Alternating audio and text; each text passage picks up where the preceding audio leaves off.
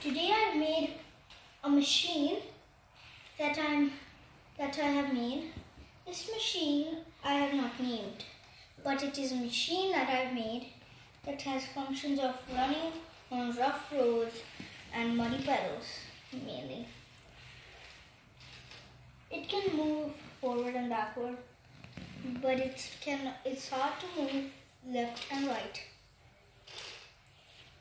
I'm going to show you my gun. I made this gun with my Lego technique.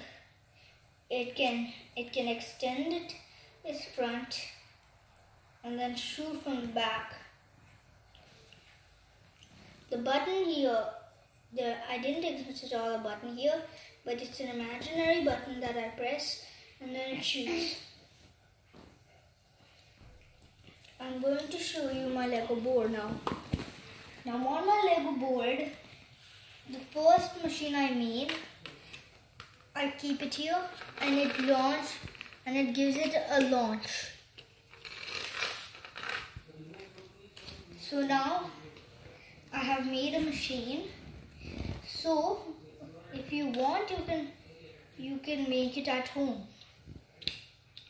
you want, you can use this as an imagination as well and make your own one. All you need is your Lego Technic Handler set, a set of instructions, and then you can make it all.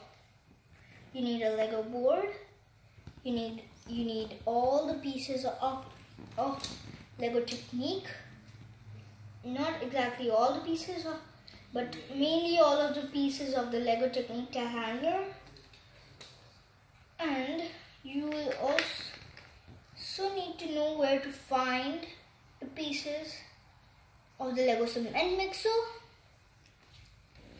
and then you can make this big machine. Okay, bye.